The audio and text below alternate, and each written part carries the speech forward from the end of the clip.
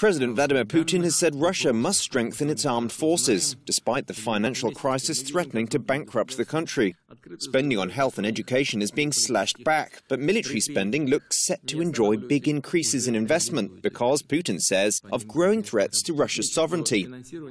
Meanwhile, Russian and Indian media reported on Wednesday that Russia might deliver S-300 air defense missile systems to Iran, honoring a contract that was cancelled in 2010 following pressure from the West.